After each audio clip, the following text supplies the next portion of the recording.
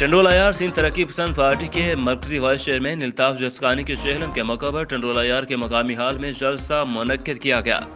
टंडोला यार सिंध तरक्की पसंद पार्टी के मरकजी वाइस चेयरमैन इल्ताफ जसकानी के चेहलम के मौका पर जलसा में सिंध तरक्की पसंद पार्टी के chairman doctor Qadir Magsi, doctor Gulzar, Riaz Chandio, Altaf Jaskani की साहबजादी कैफ विलियोरा और नसीर मजार ने खिताब करते हुए कहा कि हम टंडोला यार पुलिस को दो हफ्तों का टाइम दे रहे हैं। अगर 10 से जनवरी तक एफआईआर में नामजद मुलजमान गिरफ़्तार न किए गए तो एसएसपी ऑफ़िस के सामने धरना दिया जाएगा।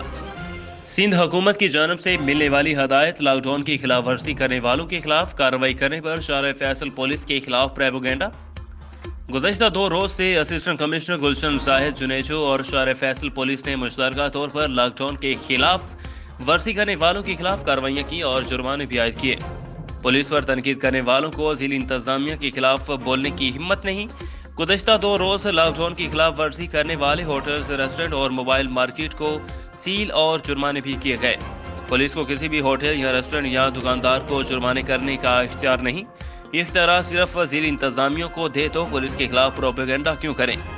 बलोचिस्तान सजी और रेस्टोरेंट, दीगर रेस्टोरेंट और दुकानदार सिंध हुकूमत की जानब से दी गई हदायत और एस ओ पी की खिलाफ वर्जी कर रहे थे।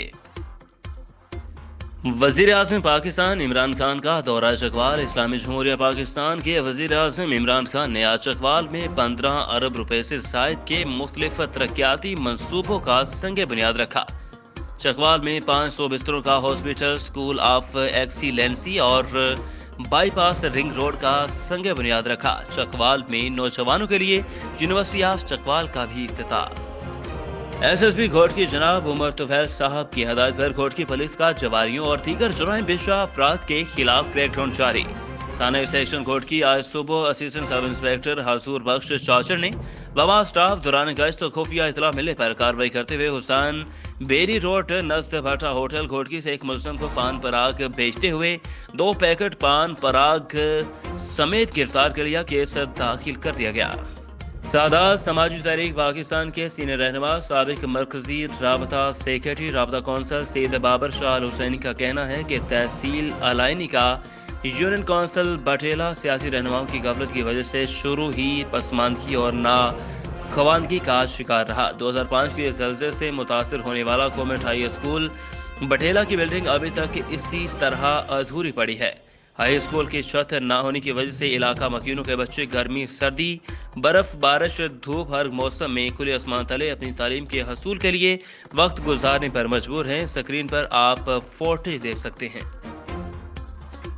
किबला पीर सैद असगर अली शाह सैद नसीर अहमद शाह के साथ पीर सैद बच्चल फ़कीर पर हाजरी, मीरपुर मथेलो स्टेशन के साथ वाकई पीर सैद बच्चल शाह साहब के मज़ार हाजिरी के मौके पर हजूर बख्श गौहर तनवीर अहमद डाहर और अब्दुल नबी भी साथ थे। इस मौके पर पीर सैद असगर अली शाह ने आलम इस्लाम के लिए दुआ करवाई।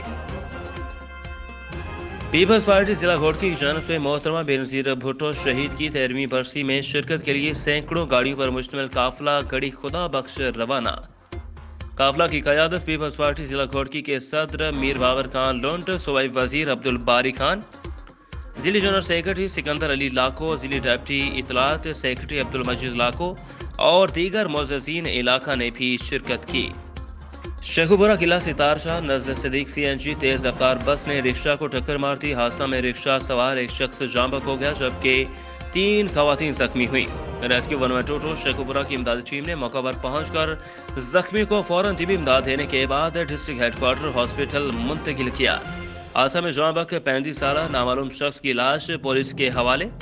इतलात के मुताबिक किला सितार शाह लाहौर रोड पर तेज रफ्तार बस, ऑटो, रिक्शा को टक्कर मारकर मौका से फरार हो गई, जिसमें रिक्शा में सवार एक शख्स मौका पर जंप हो गया, जबकि तीन खातन शदीद जख्मी हुई।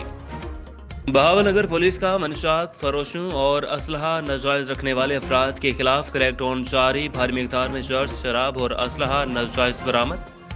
तफसीत के मुताबिक district police officer Bahawalnagar Quddus बे की सरबराही में जिला भर में जुराइम पेशा अफराद के खिलाफ कामयाब कार्रवाइयाँ जारी। जिली पुलिस ने मनशात फरोशों के खिलाफ कार्रवाइयाँ करते हुए तेरह मुकदमा का अंदराज किया। गिरफ़्तार होने वाले मुलजमान के कब्जा से दो इशारिया नौ सौ बासठ किलोग्राम चर्स और सात सौ छप्पन लीटर शराब भी बरामद की गई।